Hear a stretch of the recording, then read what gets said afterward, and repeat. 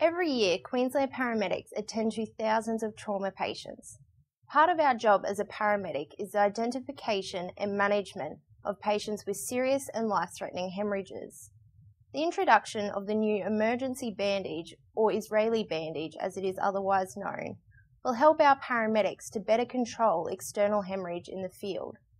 The following is a short collection of videos that will demonstrate to you the appropriate application of these bandages in a number of situations.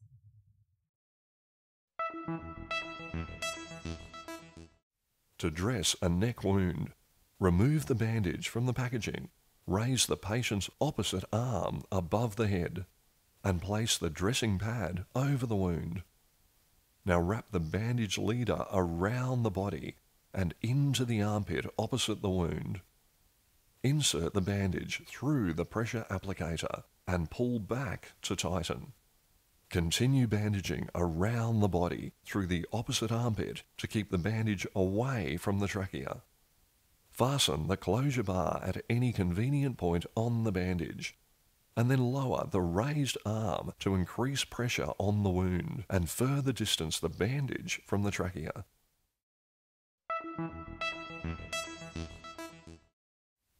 Remove the selected bandage from its packaging and place the non-adherent pad over the wound, positioning the wound between the pressure applicator and the label.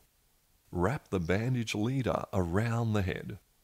Insert the bandage into the pressure applicator and pull back firmly in the opposite direction to lower the pressure applicator over the wound and continue bandaging. To turn the direction of bandaging, hook the bandage leader behind a corner of the pressure applicator and wrap the bandage under the chin and over the patient's head.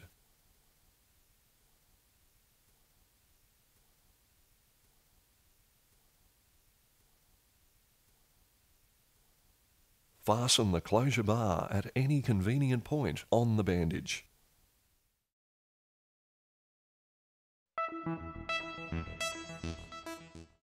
Remove bandage from packaging and place the dressing pad over the wound. Wrap the bandage around the limb and insert into the pressure applicator. Now firmly pull back the bandage in the opposite direction and continue bandaging.